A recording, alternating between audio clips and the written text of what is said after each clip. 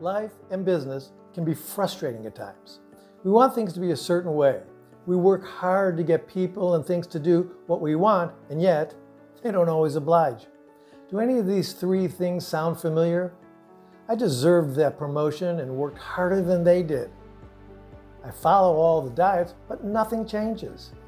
I was told after doing everything the customer wanted, we'd get the order. That was two months ago. We've all been there.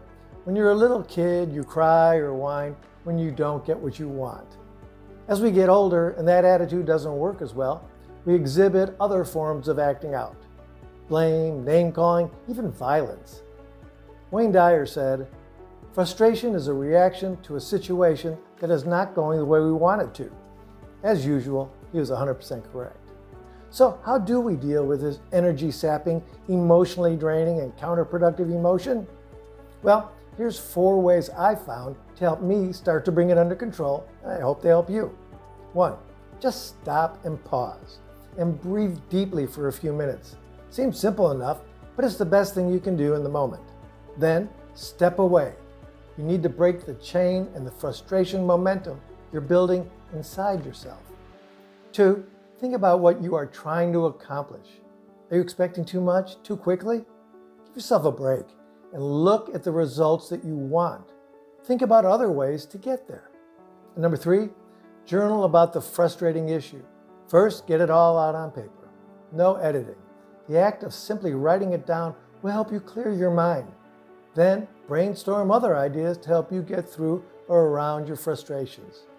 And of course, bring in our old friend gratitude. Being grateful for what you have already is a cure by itself. When we really appreciate where we are in life and what we have, our frustrations start to melt away. So here's your action item mission should you decide to accept it. Something frustrating you? Does it get you crazier than a cat chasing a laser pointer? If so, try the ideas I suggested. You'll be no worse off and you may find the path you were looking for. Being frustrated is bad for both our physical and emotional health.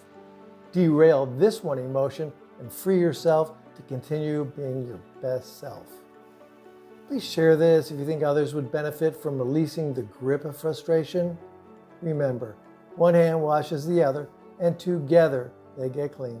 Thank you for reading and watching. Have a really rewarding week, and I'll see you next time. If you're watching this on YouTube, please don't forget to subscribe and like this video. With just a couple of clicks, you could be helping thousands of people. Thank you.